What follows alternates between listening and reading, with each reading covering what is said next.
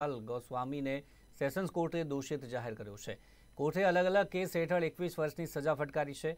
એક સજા પૂરી થયા પછી બીજી એમ અલગ અલગ સજા ભોગવવાનો હુકમ સેશન્સ કોર્ટ દ્વારા કરવામાં આવ્યો છે. વિશાલ ગોસ્વામી પર વર્ષ બે હજાર પંદરમાં શહેરના જ્વેલર્સ પર હત્યાનો પ્રયાસ અને ખંડણીનો આરોપ હતો અને વિશાલ ગોસ્વામીની ક્રાઇમ બ્રાન્ચે ઉત્તર પ્રદેશથી ધરપકડ કરી હતી. જ્યારે આ કેસમાં પચાસ જેટલા સાક્ષીઓના નિવેદન પણ લેવાયા છે.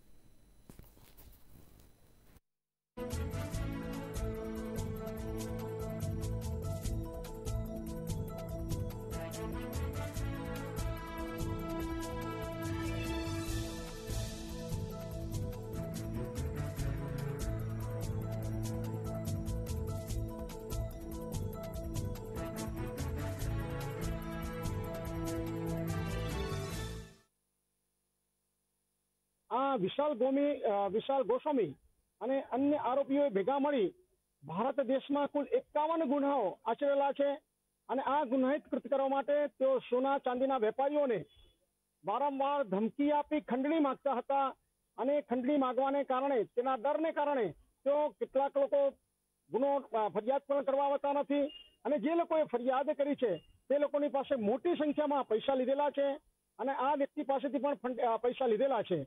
અને આ ગુનાહિત કૃત્ય કરનાર વ્યક્તિને જો સમાજમાં છૂટો મૂકવામાં આવે, સજા કરવામાં ના આવે, તો લોકોમાં દહેશત રહે, ડર રહે અને ધંધો કરી શકે નહીં.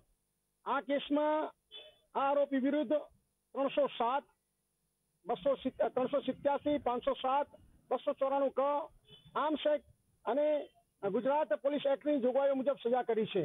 અને દરેક સજાઓ પૂર્ણ થઈથી બીજી સજા ભોગવવાની રહેશે. કુલ એકવીસ વર્ષ અને ત્રણ મહિનાની સજા કરી છે અને મહત્વનો ચુકાદો આ સમાજની અંદર આવા ગુનાહિત કૃત્ય કરનાર વ્યક્તિઓ ગુનો કોઈ નહીં, તે માટે મહત્વનો ચુકાદો નામદાર કોર્ટે આપેલો છે.